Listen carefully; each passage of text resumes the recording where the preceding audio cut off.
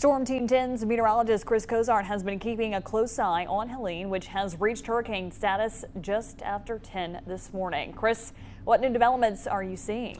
Well, we're still on track to seeing landfall as a major hurricane here Thursday evening. I think what has my concern is beyond Florida. Uh, Georgia, the Carolinas, they will be under the threat to see some significant and uh, significant widespread power outages from this storm. I want to talk about our weather for just a second here, and then we're going to get to Helene. So there is a marginal risk for severe weather this afternoon. There was just a severe thunderstorm warning about 30 minutes ago. It has canceled there. There's their scattered storms now moving moving into Jeff Davis Parish. It has weakened. There were some signs that this area, this thunderstorm activity was producing some stronger winds, not showing that anymore. But nonetheless, some heavier rains and some lightning strikes. Cold front's trying to move through here, and that cold front again is guiding Helene away from us. And there's the latest look at Helene as a hurricane here, and it's already looking very impressive here on the visible satellite. Unfortunately, it has another 24 to 36 hours here of more development that it's going to go through. So now a Category 1 storm expected to be a Category 3 at landfall here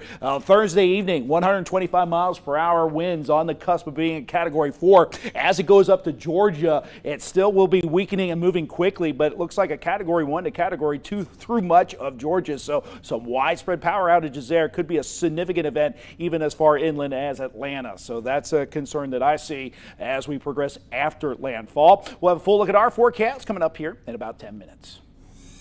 All right, thank you, Chris.